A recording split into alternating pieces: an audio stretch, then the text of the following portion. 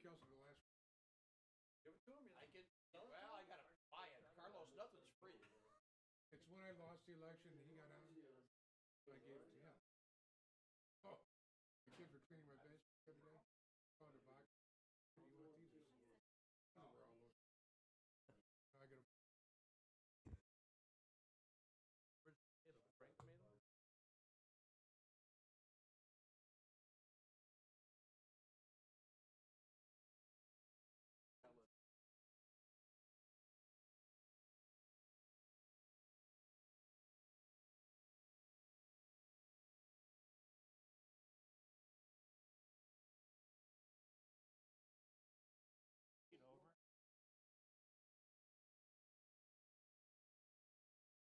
Put on, I put on a sweater I turned the, over top of my I turned sweater. the heat, Good, at least it's true good, anyway. cause Only hope.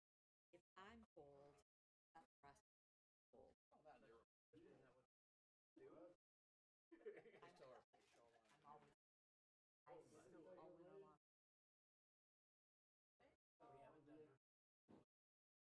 We haven't done her. Closing that window Window, with nails. window opens, That's too much. Tom's Oh. shivering. I'm shivering, his lips are blue, he's Thank like, you. I was just- please, can we close the window? How about going in the garage? We'll get you some- That's- I suggested that to him, Sweat my tail off. that he go to the garage. Done that before. Here for the soup, tie. Starts getting hotter. What a zoo, though, you know? Like I say, it's funny who you run into, though, isn't it? I don't know.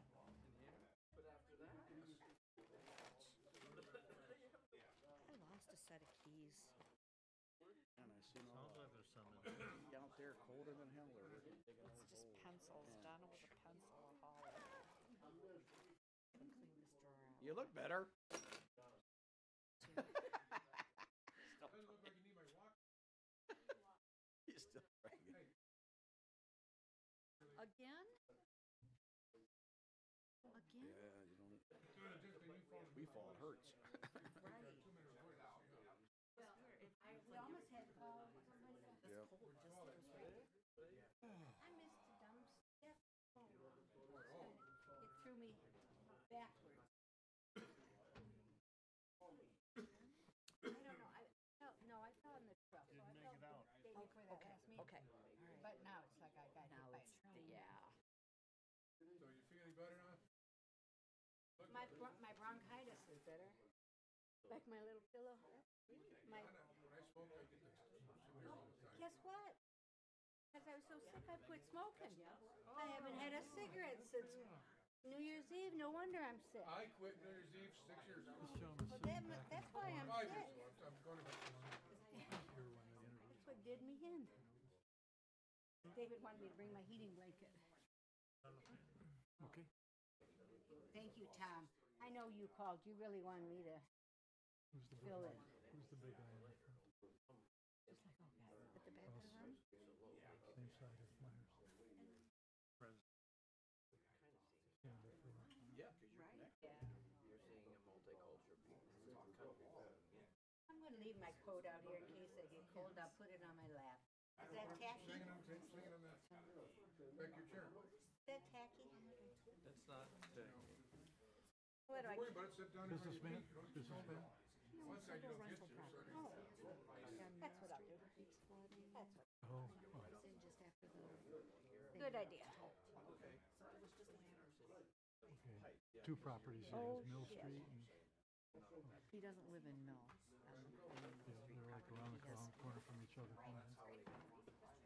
Hey, Carrie, once we get going, could I ask you to get my crap out of my box? Once, not now, I'm saying before the council meeting. Yeah. Just, sure, sure. We can, we can go get it for you right now. I just, Well, we're at, um, sorry, we're- it's time. Okay. are we filming this? Is Lincoln? Yes, yes, live. Yep, they're ready to go when you are, Mayor. Live study session.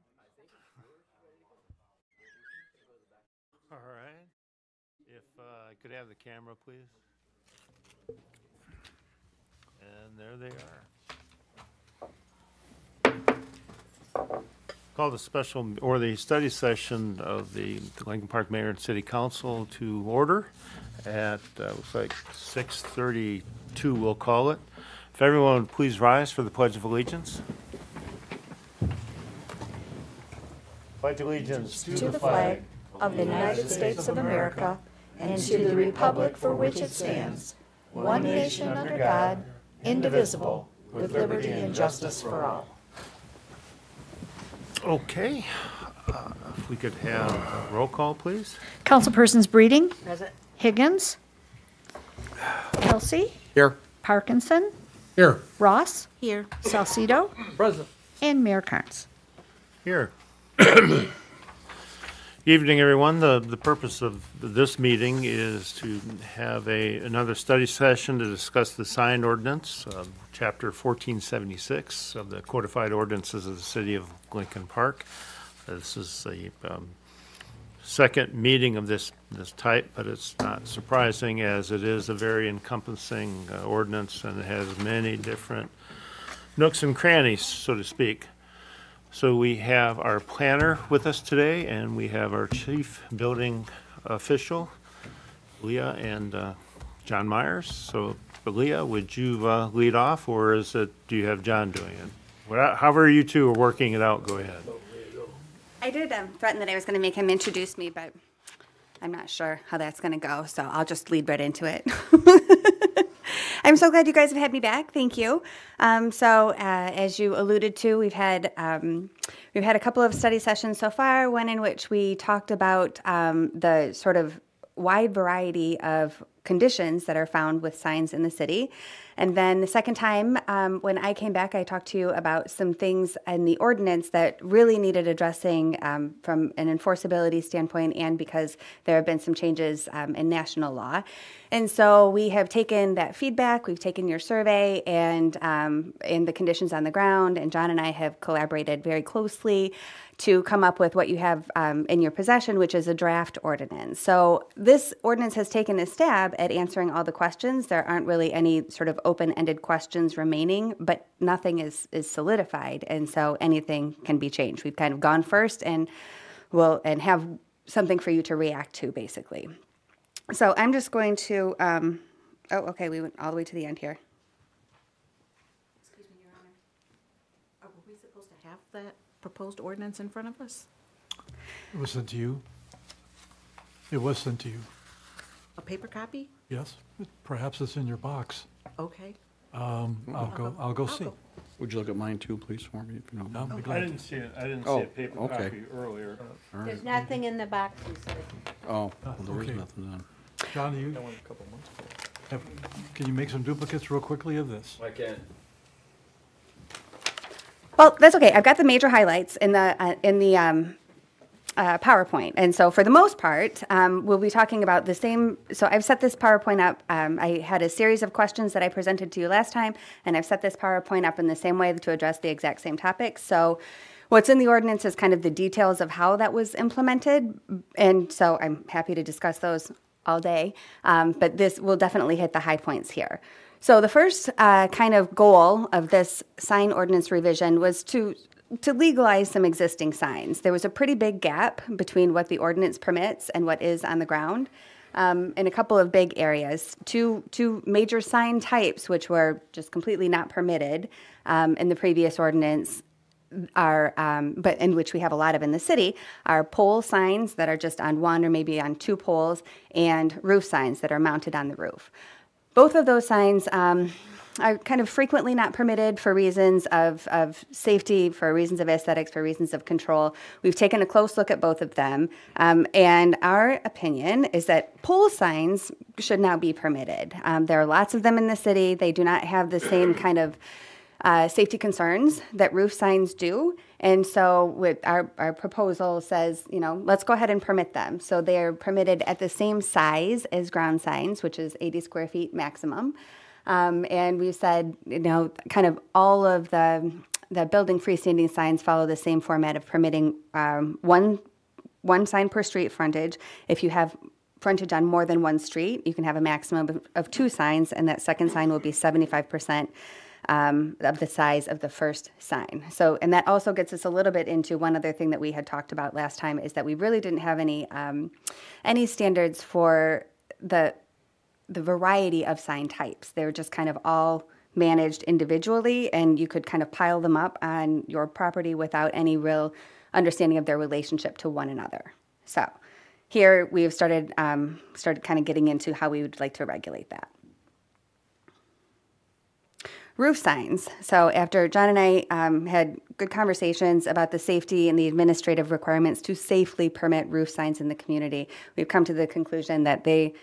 They, they're still not permitted. That it's not the right thing to do to go ahead and um, legalize those signs. They, they, we just don't. We're not set up well to make sure that they are always done in a good and safe manner.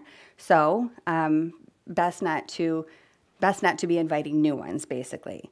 Um, however, non-conforming roof signs that are in safe and operable condition are permitted to re. re- Yes, I'm sorry. Jump the gun. Sorry. If it's there today, you're going to grandfather it in. I mean, Yes. like Yep. Save a lot, will be okay. Yep, absolutely. So everything that you know exists today, so it works, you know, like any other basically, you know, provision like that. If it exists today and it's in safe and operable condition, um, then they'll be permitted to remain. And so I did add a little more detail about that um, nonconformity. We had a nonconforming signs um, section in the ordinance. I basically matched it up to the zoning ordinance so that the language is consistent across them. There wasn't much difference to start with, but now they're identical. Um, and that provision, the non-conforming provision says that lawfully constructed signs may continue. Um, alterations are only permitted if they make it more conforming. So if it was too tall and you make it shorter, that's okay. Um, move if you move a sign though it becomes a new sign. So even though you know it's you know might be the same one but you put it on a new you, there's no moving of a non-conforming sign then it would be a new sign.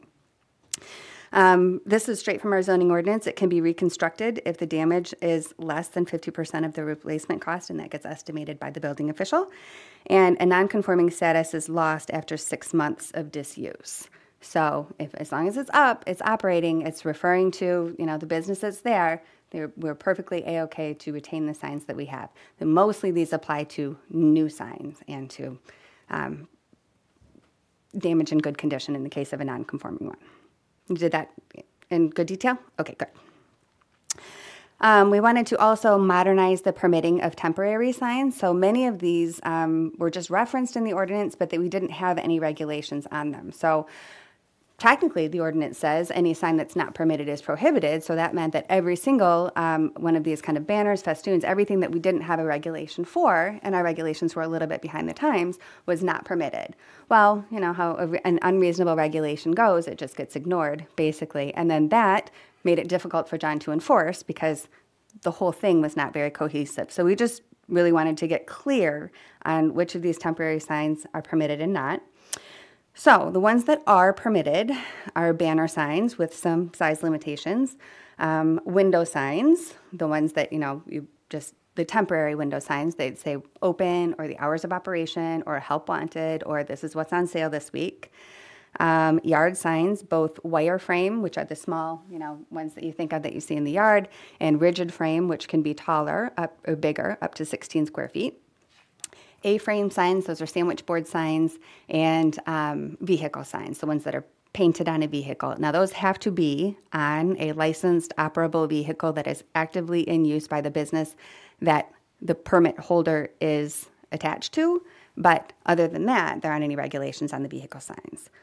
So, um, not permitted, and on the other side, not permitted were the inflatable signs. Those are those, you know, the guy that stands up there. Nobody liked those in the survey. That got a big fat zero. Um, feather flag signs. This one might be a little more controversial. Those are the ones that have one tall pole that curves at the top and about six feet of cloth in there. You often see several of them in a row. Um, those get hard to regulate because they never show up. they basically never show up one at a time. And so then, you know, the question is how many do we permit? How far apart do they have to be? Do we even like them? Can they go on the roof? I've seen some on the roof here in town. Um, our, our consensus between John and I was that it wasn't worth the regulatory hassle and we preferred not to. So that, that was our go. But again, this is, this is open to your, your influence. Um, and people signs. So those are the actual, you know, people either wearing a sandwich board. I think that's the older style, but now mostly you see them out there kind of like holding their signs and waving them and flipping them and that kind of thing. We've decided that that's maybe not, maybe, but maybe we don't need to permit those also. So three non-permitted types, five that are, that have new regulations on them. Any questions about those? Yes, I have a question, if I may, with the chair. So the Lady Liberty that does taxes over on Dix Right. dresses like Lady, you're saying no, she can't do that even if she's on their property? That is where we went with that, but again, this is subject to your review and consideration. I mean, it's very seldom, but I mean, she's out there, every tax thing has been out there for twenty-five years. I'm sure it's not the same Lady, Lady Liberty, but. I just- And the, and the, the flag, the ones that have the material, the six-foot ones? Yep.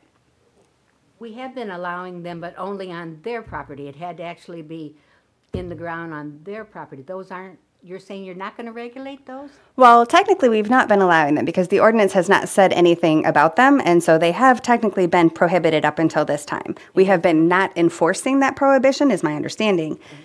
But you are going to allow them now? Um, so in, in our proposal, we have said no feather signs. If that's not amenable to you, we're happy to take that, take up that conversation. Uh, Through the chair, in regards to the feather signs, what if you just had them during business hours and have to take them out? Would that- Does that bother you at all?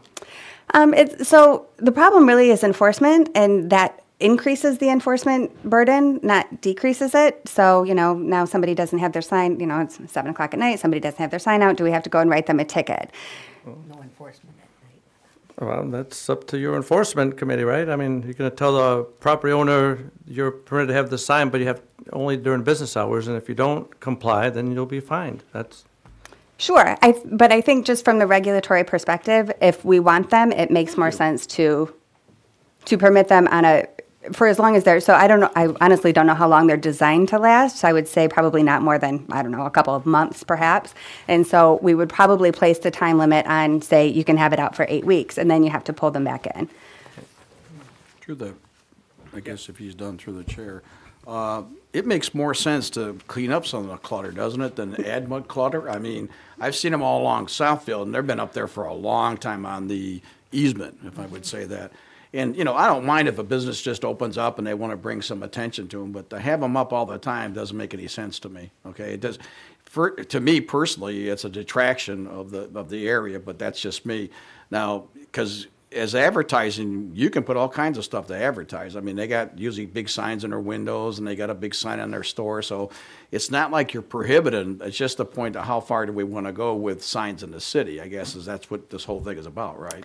Right. I mean, And- basically, the idea is: Do you want to drive up and down the street? How many of them do you want to see? Do you want to see them at all? Does that, do, in your view, does that add to Lincoln Park's public realm?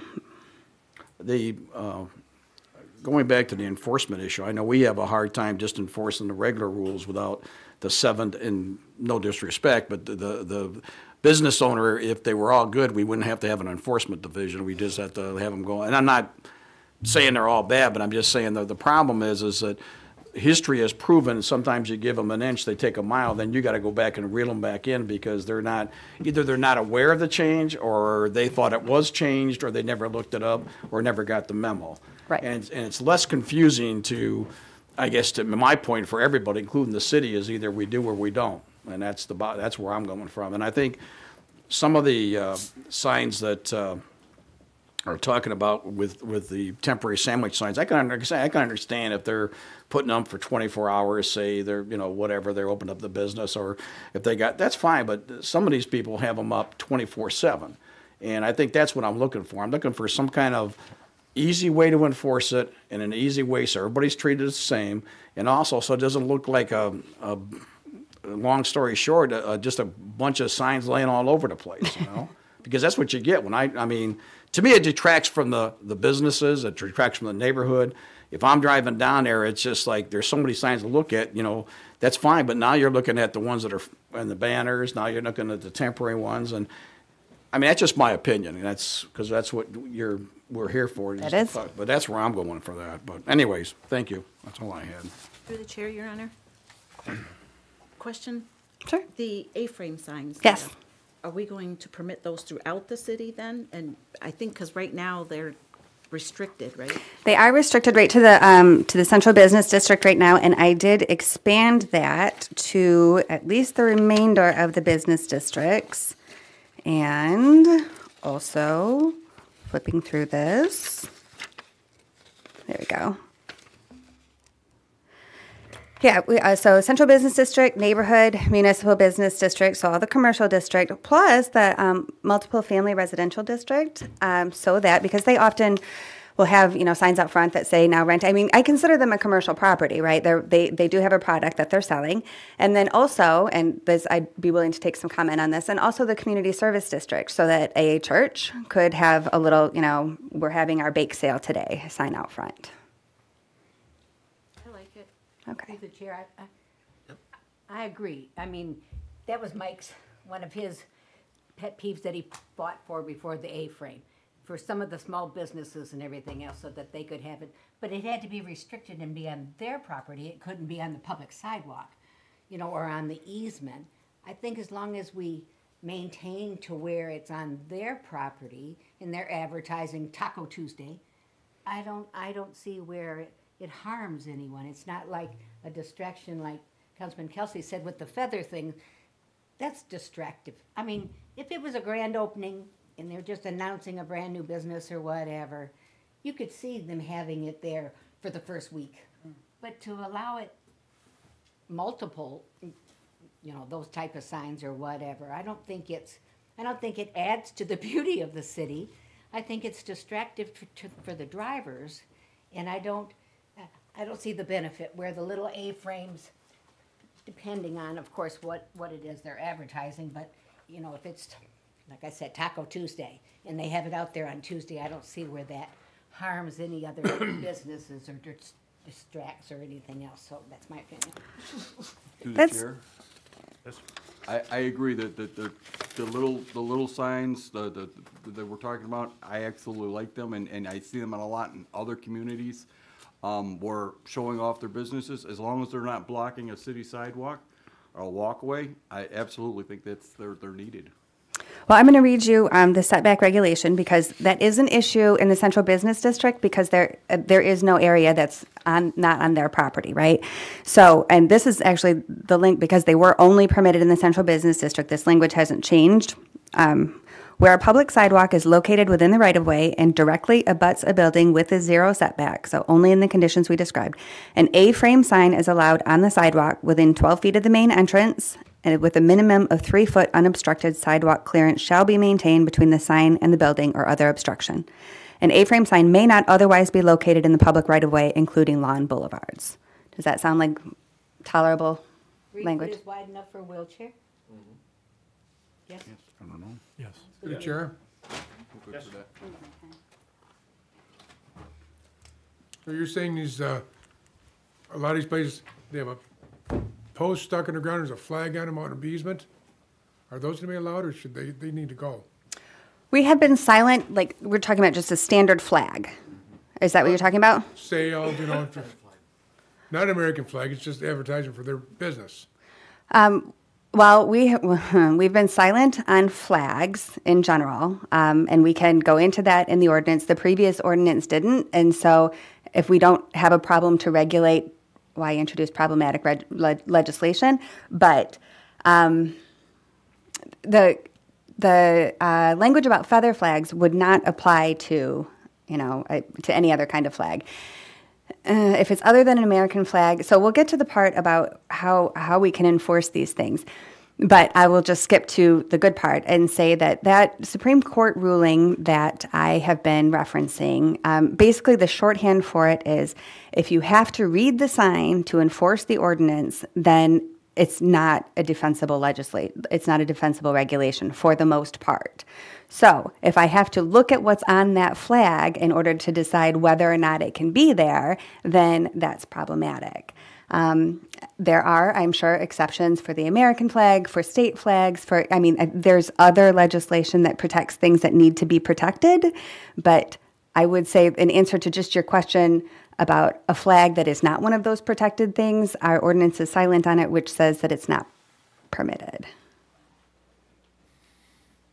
Did that, was that clear? Okay, cool. Anything else on temporary signs? Well, Let's, you Sure. have a lot more to I do. Yep. right? So let's get. Go through and then go back? What you have and then, and then come back. to Sure. the- There, so that we at least get the, the main part of the uh, presentation done. Yes. So festoons are now permitted, which is a funny word that means like basically everything that's all the decorations that are not um, signs, but that are the the little row of flags, for example. It's basically anything that's hung on a on a string. So it could be pinwheels, it could be the little flags. Um, it could be a string of lights, although we've specifically defined window lighting because we wanted to regulate it differently. So, for the most part, festoons, as shown in the picture, which, by the way, I wanted to um, maybe draw your attention to these images that have been on the slides. They're all from the new ordinance. So, we've created, you know, for every sign that has a definition, it also has a little line drawing showing what it is to hopefully cut down on on, I mean, there's plenty of confusion in sign language. Um, so the any the little festoons are now permitted. They're they're not um, regulated. They're they're just permitted. Um, balloons and balloon signs, which are different in the definitions from inflatable signs, those are also permitted. They do have regulations. It's like one bunch, no more than 12 balloons. Balloons can't be bigger than two feet. There is some regulation, but you're allowed to have balloons and um, window lighting. So when I took the survey, you guys liked the little, you know, perimeter lighting around the windows. So we said, okay, four of your windows on the same side of your of the building as your public entrance can be lined with windows. Is that sufficient, or lined with lighting? Is that sufficient? Do you think? Okay. So, so those are now explicitly permitted. We did take a look um, at the permitted signage in the central business district um, to see how we could sort of increase the visibility, especially being aware that you know the trees are kind of at a stage where they're growing in front of the standard sign band. We expect them to outgrow that, but right now, is there anything we can do, basically? So the wall sign size um, is now a maximum of 100 square feet um, within the central business district. I believe it used to be 80. Um, alley, parking lot, and secondary frontage wall signs are now permitted. So that means that, you know, whether you have your sign, so you have, you know, your one wall sign on the front. If you also have a side of your building that faces another right of way, you may have a second sign. If you have, if that doesn't face another right of way but is over a parking lot, you may have a second sign. If you have an alley entrance, you may have a third sign. And oh, that's it for the central business district. We um, made sure that perpendicular formats were permitted, the projecting or blade signs that stick out, because a big part of the problem with the speed limit on Fort Street is that you don't have enough time to turn your head and see it. You need to see them coming. So projecting signs are permitted, awning signs are permitted, which also, because they have the kind of projecting plane to them, you can see. Um, marquee signs for some uses, and those A-frame frame or sandwich signs. And then we also said that monument signs could be installed by a public body to index more than one business, which was, again, something that we could do. We don't have to, but like at the beginning of a block, for example, while you're sitting at that light, you could see the businesses that are in the next block. So I think none of these is a silver bullet that, you know, solves all of our problems in the central business district, but taken together, I do think that they add some visibility for those businesses, especially at this time. And then here we get to the slide um, about Reed versus the town of Gilbert. So on the top is their legalese. We may not restrict expression because of its message, its ideas, its subject matter, or its content. Long story short, if we have to read the sign to enforce the ordinance, it's probably not constitutional. That's a hard regulation to wrap your head around um, because you, I really want to regulate things based on what's on the sign. So what that has meant for our ordinance is that for, um, it, there's three categories of signs that are called out in almost every ordinance and regulated by content. Election signs. So we said additional temporary yard signs are permitted during the period of 60 days before and 14 days after an election. That's different whether you are on, in a commercially zoned district or a residentially zoned district. You get, I think, let me have this in front of me when I say it so that I get it right the first time. Um, so for the wireframe yard signs in the commercial districts, you can have one per, per parcel. Nope, those are the rigid frame ones. You can have two per parcel, and then for the election period, um, for 60 days before and 40 days after an election, you can have eight of the yard signs per parcel. That's in the commercial districts. In the residential districts, single-family residential, um, and the mobile home park, now, here too, I've treated uh, multiple family as a commercial property because that's where they are. They're in our commercial, on our um, corridors, um, and they're not like tucked back in the neighborhoods. They're part of the, the more visible public realm. So I've treated them like commercial businesses. In the neighborhoods, however, um, all the time. You can have three yard signs per parcel. Um, they and so those I would expect to be used for your construction advertising, for example. A lot of times, like when you're having your renovations done, they, the company likes to put your real estate sign um, is another example of what would you know just sort of be unregulated and in your yard all the time. Or you could have a political sign up all year round. If you think three is too many, now is the time for us to talk about that. For you to have it in your yard at any given one time. I try to be a little liberal with that, but three seems like maybe it's a lot. For the period around an election, you could have up to 12 signs per parcel. And again, I just picked a big number. John and I did the math. He was like, I don't think you were going to be voting for more than eight people in any given election if everybody is running. And I said, well, this is probably true. so that number is certainly, you know, up for debate. Do you want to see 12 yard signs or do, is it just important to you that, you know, people can say whatever they want to right around an election? No, people can't. There may be, I can't imagine anyone wanting to vote for twelve different people on a six, with six seats, but I don't think you should limit that. But I want to make sure, they can't put these signs on the city easement still, That's correct. even the election ones. That's correct. Okay. Yes. So that's how we, yes. To the chair, may I point out that if somebody wants to, wants to have a sign for each mayor, either mayor candidate and the for six council candidates, that would be seven signs. Mm-hmm. At any given time, when we have our elections, there are three school board members up, that's ten signs, okay? Now, our elections now fall at the same time as the presidential election, the state senate elections, and the US Senate and cons- and Congress elections. Proposals. Right. That's not counting proposals. I do not believe that we should limit political science at any time. That is a freedom of speech issue.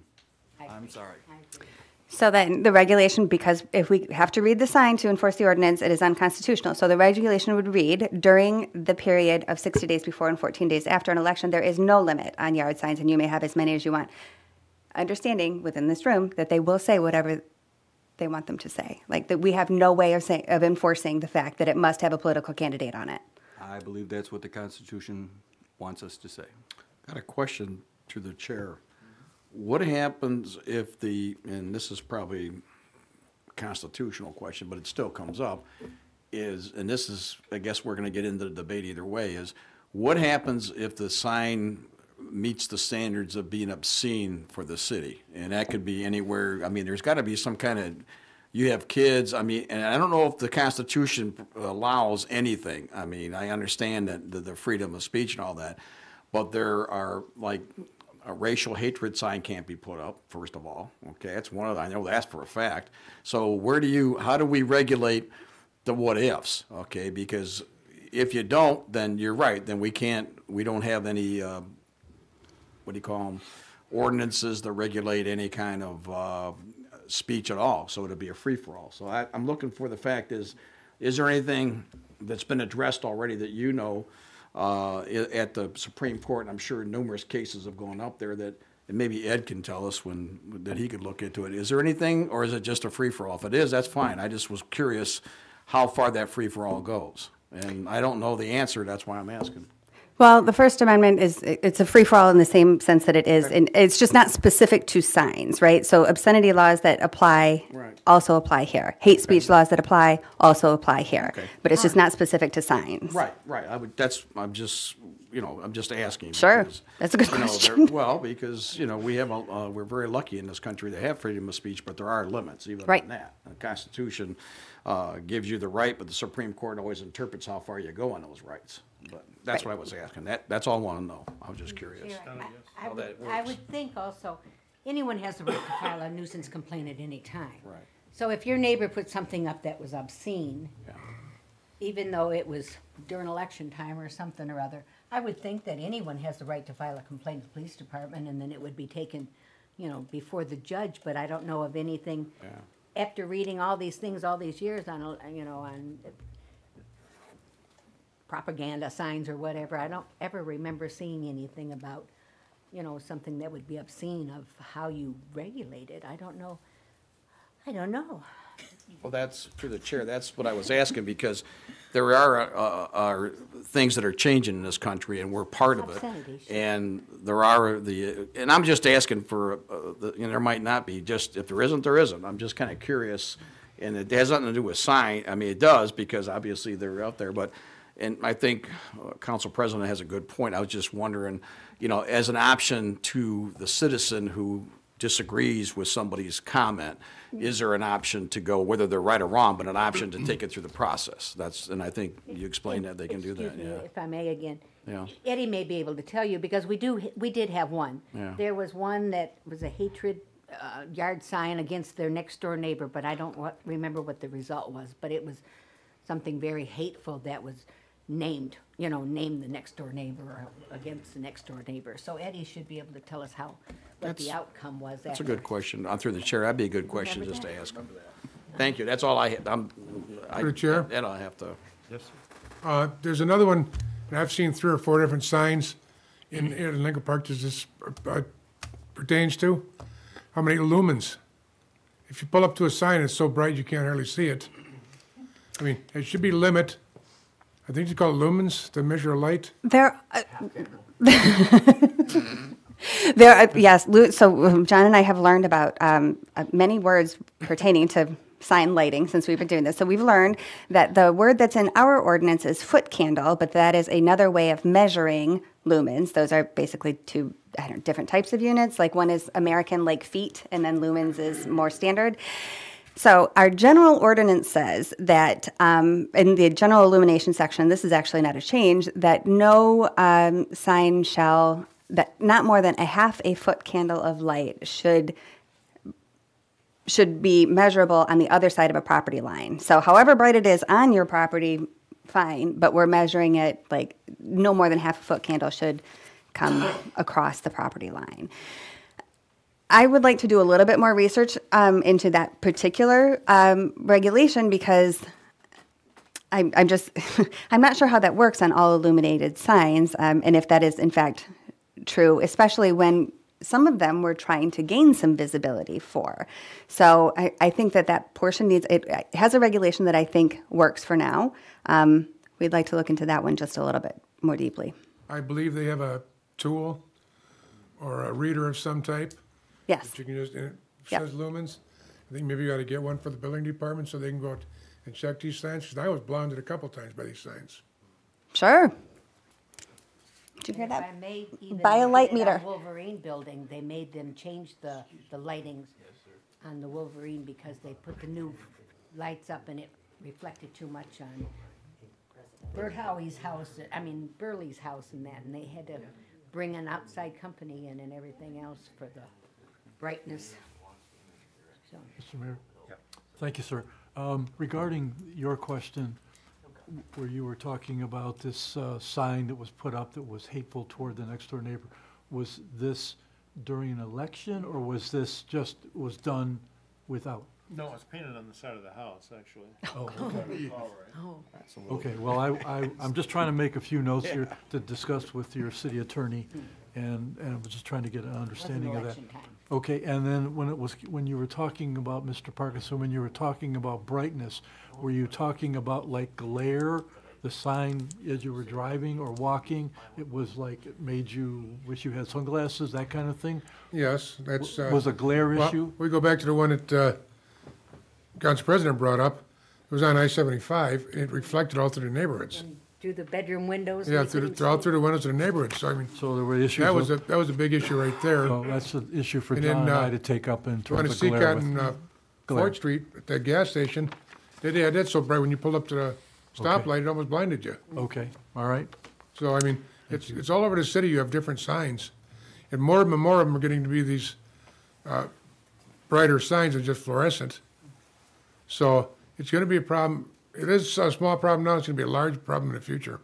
Well, that's why um, Leah and John and I, um, your, your staff are, are uh, looking for your comments tonight in terms of flashing or how often or how many. And uh, we're searching for the, uh, uh, an ordinance that the consensus of you can support.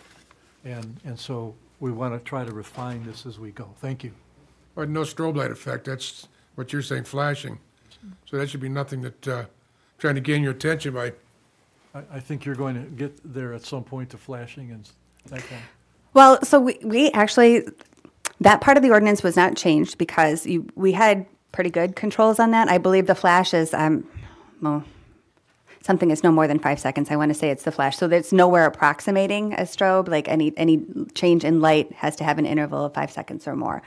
So, and I'm happy to, to chat about that in some more detail, maybe after we chug through the rest of this presentation. But I did want to follow up quickly about um, whether the lack of limitation on the number of election signs should pertain to both the residential districts and the commercial districts. Should there be any control on elections, the number of election signs, signs in the in in in the time of an election um, in the commercial districts?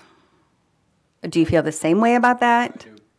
I do, I don't think there should be any control. Well, there has to be some limitation on this. We cannot have every square inch of every commercial property be covered by signs. I mean, I'm all for freedom of speech and all, but we cannot have it just a complete, total, nothing but hundreds of signs as you go down the street. That, that's not gonna work in the commercial. And to be frank, the potential for abuse is much higher in a commercial property because they have incentive to, you know, there, there's some gain for more signs and we can't control what's on the signs and that's a different situation in a neighborhood.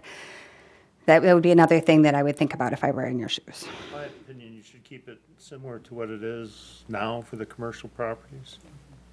Okay. Well, we'll, we'll suggest some language that is analogous to what we have now and we'll see how that goes. Other ways um, in which, other things that had to change in order to conform with Reed versus the town of Gilbert. Um, real estate, so the other next one was real estate signs. So temporary yard signs are allowed without a permit at all times, um, one or one or a couple. Um, so that should cover real estate signs. We should not need any additional um, regulation on that. And uh, construction signs, um, additional temporary yard signs are permitted during the permit that a construction period is active. So that's how we kind of time limited that some ease of use changes that we made. Um, the standards according to sign type table. So um, the packet that you have, the last half of it um, is filled with charts. Um, there's basically one per page per type of sign. And I tried to give you all the information that you need to install, to uh, understand what the regulations are on any given sign, sort of all in one place and collected there. So that is a reformatting, um, a reformatting that took place. So the way that it is here is uh, good for MuniCode and it's good for a format that you can hand to somebody. It prints on eight and a half by 11 paper. We also have um, kind of toyed around with, and I think we'll end up finalizing a version that is um, 24 by 36 and basically has them all in a chart format for that can be displayed in the building department as the zoning districts are now. So there's some really just trying to, you know, if some, this is, as I said before, a, a portion of the zoning ordinance, or, sorry, of the regulatory ordinance that gets used much more frequently and by many more people than a lot of parts of it do. So we'd like to make it as, as accessible as possible. The same with the reorganization. Um, any ordinance over time kind of gets things stuck into it, kind of where it goes, or as close to where it goes as possible. And then it's always good to take everything out of the cupboard and then put it all back in a new place where it belongs. So that's kind of what we did. New and additional um, graphics as the ones that I've been pointing out to you, um, you know, both for uh, definitions and for kind of like the, the measurement and setback illustrations. And then we move the legalese, the heretofores, and then the thereins and the notwithstanding. So um, to make it enforceable, which again has really been a driving force um, of this um, revision. Signs are subject to annual inspection now. I be- believe previously it said periodic, which is pretty well up in the air and subject to some argumentation. Um, the required maintenance is spelled out that it needs a fresh coat of paint, that you know things can't be loose. Like the, the things that a sign must have to be considered in good repair are spelled out in the ordinance. The removal process is also spelled out, and it now includes permission for the city to remove and assess a lien. This would be after written notice. This would be after a period of, I think it's 30 days of noncompliance.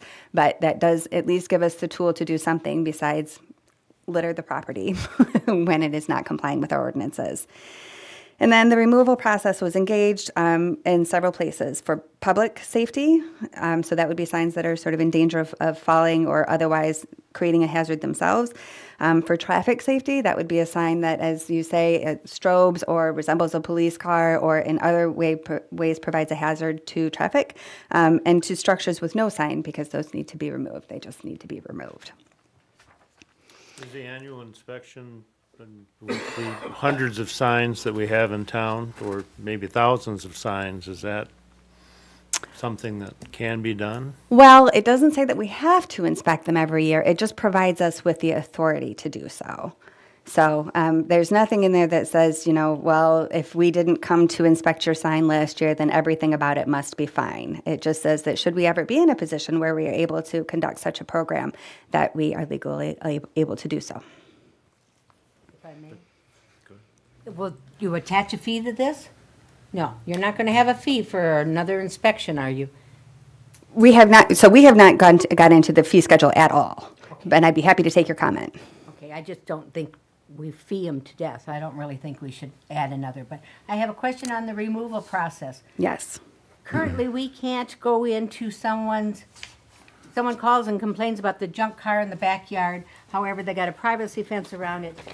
Police department, the ordinance officers can't go in that backyard because of some state regulation that Amy Higgins found or whatever. So how can we go in and remove this sign? How can we accr- go onto their property? Can't Well- we just issue tickets? I don't know if we can legally go in and remove something. It's not like a dangerous building, or I don't, I don't know, and I don't know. We'll confirm that with Amy Higgins and Ed, but the consensus at this point is it's not in, fenced in and locked out of property. Okay. So if it's a public sign, uh, meant for advertisement that's not being maintained to a, a standard of, of, which would turn into blight, we have the right to request them to maintain it, maintenance, or remove it. And Okay. like we do for buildings, we have the right to then, uh, take action and put it on their tax rolls. Okay, that's good. Um, and then finally, sketch required uh, standards for number and type of signs. So that's what I alluded to about, you know, we've just been dealing this like one sign by one sign, but what about the whole collection of signs on the property? So we've added to the application process basically just a sketch. It doesn't have to be, you know, a fancy architect produced drawing or anything, but show us all the signs on your property.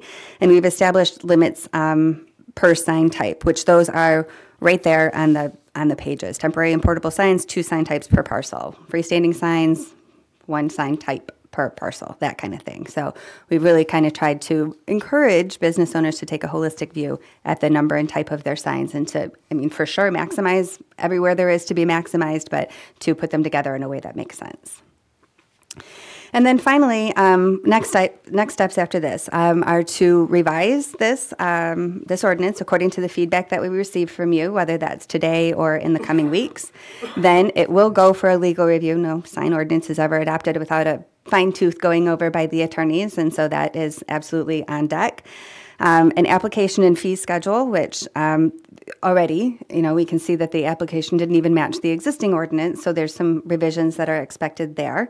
And the fee schedule, of course, will come before you. And then there will be the formal adoption. We'd like to send those all together at once and wrap all that up.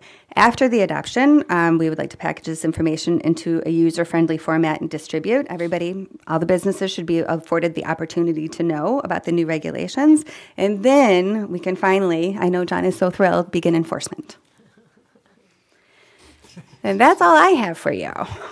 Did, John, were you going to make a presentation with this, or is No. it? We- we- Well, I wanted, We're in line. I just wanted to speak one clarification of your lumens question.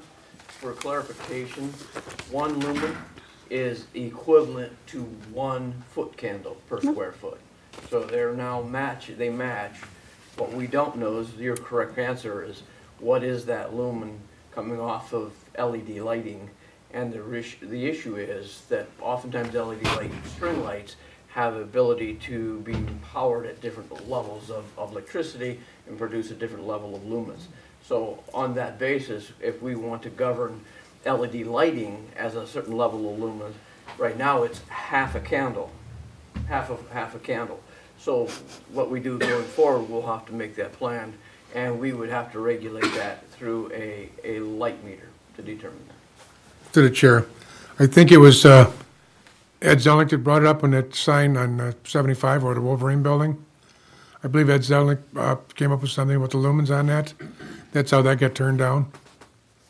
Because people on 75 were being blinded, all their neighborhoods were being blinded. People couldn't sleep because their, their bedrooms were all lit up all night. So uh, you can check with Ed Ed Zelnick about the lumens, because he seemed to know about them. I've added to, to, to, to our list for okay, I'm discussion. gonna, before we go to additional comments from, uh, council, there was a gentleman from the audience that, sir, podium here at the rostrum.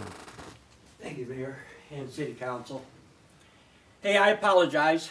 Uh, You identify yourself, sir. Gerald Molnar, Lincoln Park, Michigan. I live on Clover Lawn. Been in Lincoln Park for 74 years. I'm 79 years old. The signs, I got a list here that I was listening to her presentation over here. The election signs I'm having a problem with, and that is that I did not hear anything mentioned on size. It seems to me that they get bigger and bigger. Back when Vic Benora, I used to come to the city, was a mayor, they were allowed to be four by four.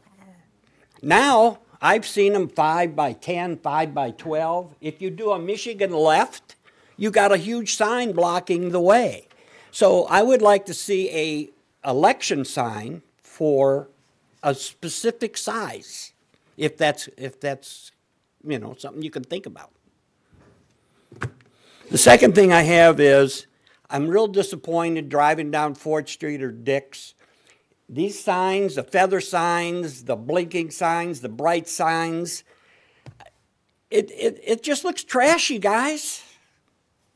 I'm very disappointed with it. And I don't know, sitting here listening to everybody here today, yes, we're all concerned, but I don't see anything really happening. And you're right, we can't be going out there fining people. We can't be charging all of this. I think personally, we let it get out of hand. You know what I mean? So now we've got the band aid and we've got to get out there and we've got to do something. And that's the reason I seen the article and I decided to come by and say my piece. All right? And again, I do apologize because I haven't been here for a long time. You know? And the other thing is color. You know, I, a sign is a, it can be a building, correct? If they paint it bright blues and greens and purples and yellows, is that not a sign? If it's a solid color, probably not. But if there's a design on it, maybe. You know? I, I don't, we're not Burner Highway, guys. I'm sorry. I'm so disappointed. And the feather ones, like I just said, we don't need them. They're a distraction. They just, I, they're not something that I, I like seeing flying down there on Dix, Fort Street, Southfield. And as for the, the brightness, yes, we need to get a, a little, the meter's not that expensive. And we need to get them toned down a little bit. They're doing 45 miles an hour. And I appreciate the council's time today. And I would probably, I haven't worked since I was 70, so I'm 79. So I'll probably be back, to- you can uh, bend your ear a little bit. Do you have any questions for me? Uh, no, sir. Is there anyone else want to be heard on signs, please? You're welcome,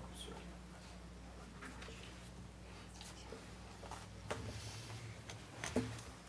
Hi, Leslie Lynch Wilson, Lincoln Park resident. Um, I like what I heard, but I just have one comment. I think the feather flags, um, should be allowed for special events because at the farmer's market, we have a couple of them that we use. They go up about eleven o'clock. By three o'clock, we take it down because the market's over at four. Um, Taylor Farmers Market has five or six they use along Pardee, so I think for special events, I think those should be, be allowed. I agree for the businesses. It gets a little cluttered and those flags aren't that qual- good quality flags, so after a while they, they fade, but everything else, I like what I heard tonight.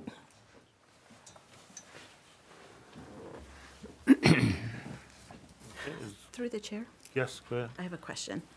For the campaign signs, Leah, I know that our current ordinance does have a size uh, on there. Yep. So you might want to just look at that for, for the sizes. But a question on the application and, uh, f- and fee. Not all the signs are gonna require a fee, will they? Because I'm thinking, I'm sure like the pole signs, because they have to be reviewed. But would, I guess, uh, just some explanation as to what signs would require a, a fee? Any sign that needs administrative direction should have a fee. Because it's gonna take somebody the paperwork and the time to make that final decision. So if it needs a, if it needs, if it needs to be applied, there probably should be a minimal fee. If it needs to be reviewed, it probably needs a fee that significantly evaluates the ordinance to the size of the sign, whether it's gonna be a wall facing a street sign or a side sign that's gonna be twenty-five percent smaller, or all the different window signs. That'll have to be regulated, because sooner or later, we'll have to do what is being asked, and we'll be allowed to walk into every business in a year's time if we want to, to evaluate that they're complying with our sign ordinance, so that it doesn't continue to get out of control as it may have gotten over the last fifteen years. Okay, thank you. I would also just add into the record um, that there, there are, just so that we know, um, size restrictions on the campaign signs. Their yard sign, only yard signs have the additional sort of election um, permission, election period permissions.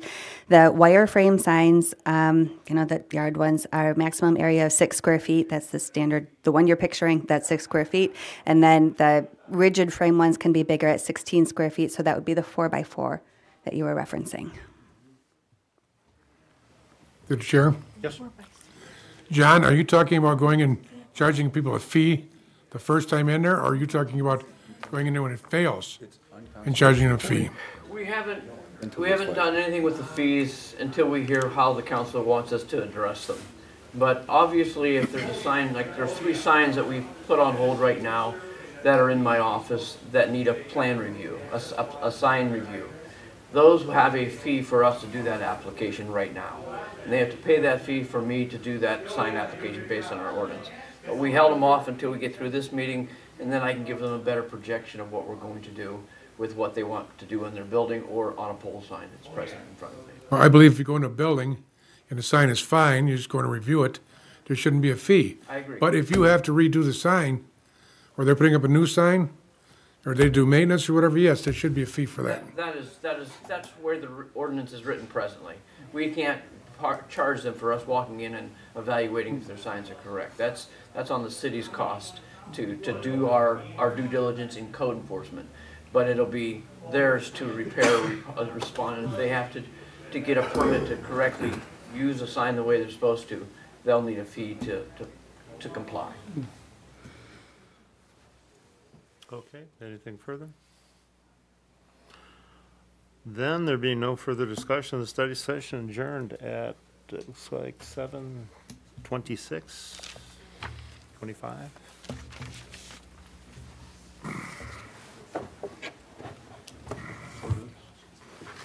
Okay.